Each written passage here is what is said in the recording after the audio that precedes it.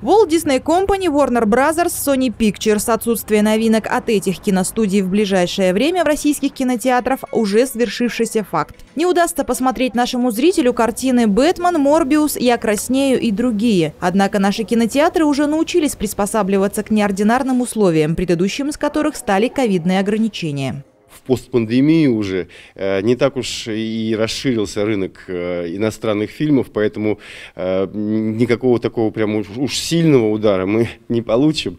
А наоборот, мне кажется, сейчас постараемся как-то свой кинематограф налаживать, наш российский. Последняя более-менее премьера была, если говорить про Соединенные Штаты, это «Человек-паук». Это было аж осенью. Пока кинотеатры планируют вторым экраном показывать наши российские премьеры, которые хорошо прошли год или два назад. Несправедливым упущением Николай Гадомский считает почти полное отсутствие картин азиатского кинематографа. К тому же, по его словам, это может стать хорошим толчком для развития российского и даже регионального кино. Уже в мае ожидается премьера его картины «Солнцем поцелованные», которая уже стала одним из победителей на фестивале «Золотой Витязь». Мнение читинцев на киносанкции сегодня было практически единодушным.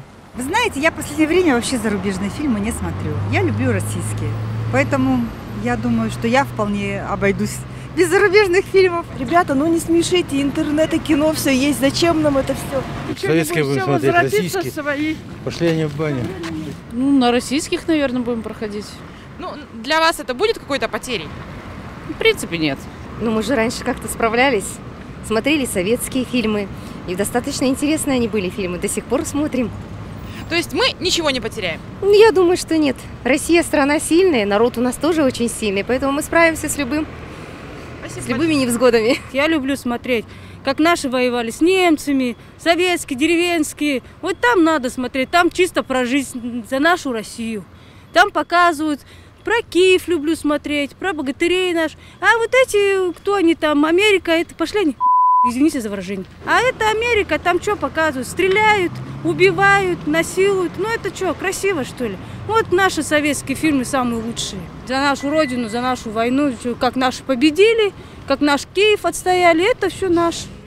Как оказалось, над доступностью зарубежного кинематографа для российского зрителя работают и земляки, а точнее даже коллеги. К примеру, в телекомпании РТК «Забайкалье» трудятся сегодня всесторонне развитые творческие люди. Не так давно наш режиссер Антон Пак решил перевести и озвучить сериал на английском языке.